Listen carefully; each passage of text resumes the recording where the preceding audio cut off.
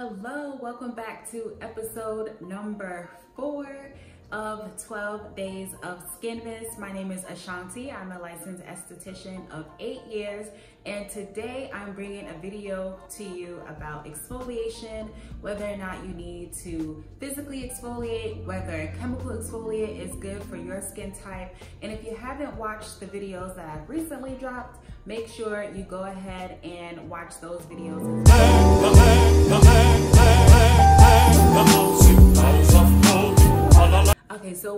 exfoliation and why do we need it? So exfoliation is removing all of the dead skin and all of the buildup from the top layer of our skin, which is called the epidermis.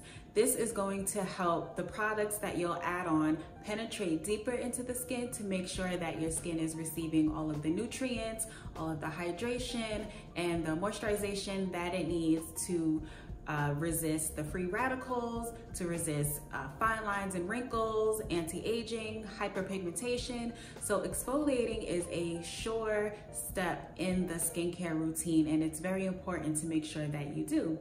But if you're not doing the proper type of exfoliation, then that can actually harm the skin. And so that's why we wanna get into what type of exfoliation is best for your skin type. So for exfoliation, there are two main different types. You have chemical exfoliation and then you have physical exfoliation.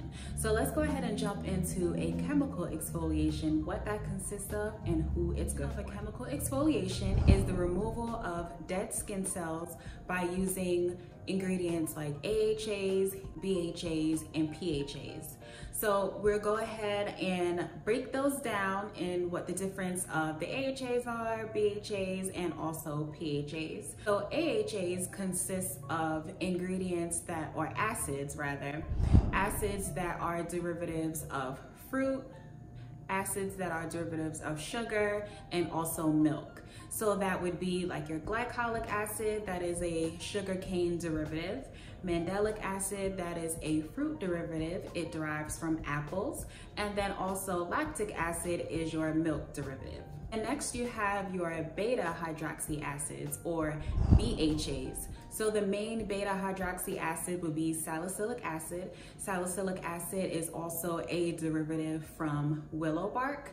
So if you are using your salicylic acid, this is really going to be good for um, oily skin to help clean out the pores. And then lastly, we have polyhydroxy acids. So polyhydroxy acids are going to be more gentle acids than the BHAs or the PHAs, and they do also still aid in exfoliation. So I'll go ahead and break down what exactly each acids are good for, what skin type they're good for, and why you should use them. So your AHAs are going to be water soluble acids. This is going to be best for skin smoothing, for scarring, also anti-aging. So if you're dealing with fine lines, wrinkles, if you're dealing with textured skin, you'll want to lean over into your AHAs as a chemical exfoliant. Have BHAs.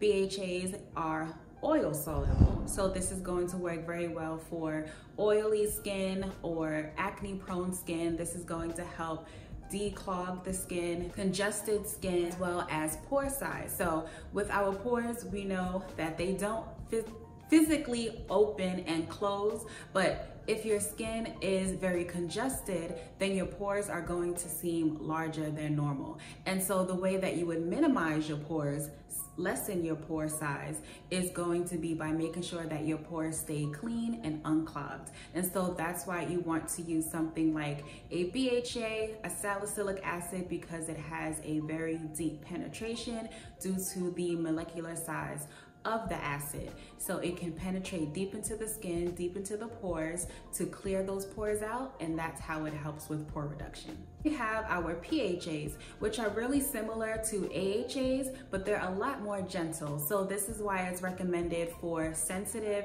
or reactive skin types. This is going to help repair the skin barrier. This is going to aid in hydration and moisturization as well for the skin. With PHAs, for an example, it will be lactobionic acid as well as gluconolactone. Another great benefit of PHAs is if you live in a more warmer climate where where 95% of the time it's sunny outside, you can get away with using this as a exfoliant without feeling like you're going to receive any type of harm from the sun. So it's less harmful in the sun, it's less potent. Of course, you still need to make sure that you're using sunscreen, but it's not as sun sensitive as AHAs and definitely not as much as BHAs. That was a quick one too about the differences in chemical exfoliants. You have your AHAs, your BHAs, and your PHAs, and they all work with different skin types. So what is a physical exfoliation. Now, physical exfoliation is pretty much in the name. This is where you're going to use a product, physical granules or beads or even a facial brush. This would be considered a physical exfoliation. Or even if you're using a rougher uh, washcloth or towel, that also is going to aid in a physical exfoliation. No physical exfoliation does kind of get a bad rep, but there's a time and a place for everything. I would definitely say if you're someone that's dealing with keratosis pilaris, especially on the body, that's where you want to use those physical exfoliations. And actually you can go and use them interchangeably where you're using both physical and chemical exfoliations for something like that when it's a specific um, condition on the body.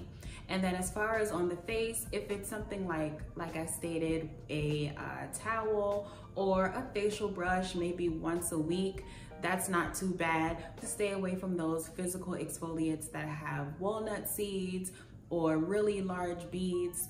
So as a professional, a medical esthetician, what my suggestion would be is to use a chemical exfoliant that works for your skin type. So if you have oily skin, you want to use salicylic acid.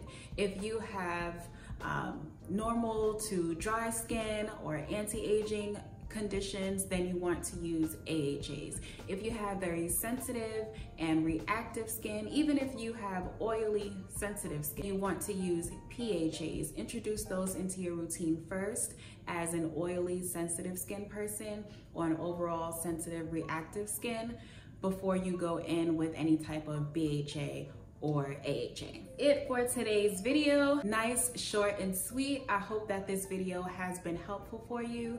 If so, make sure you share it with a friend, like, comment, and subscribe. And make sure that you stay tuned for the next few days of 12 Days of Skinmas. Again, my name is Ashante, licensed esthetician, and I will see you guys in the next video.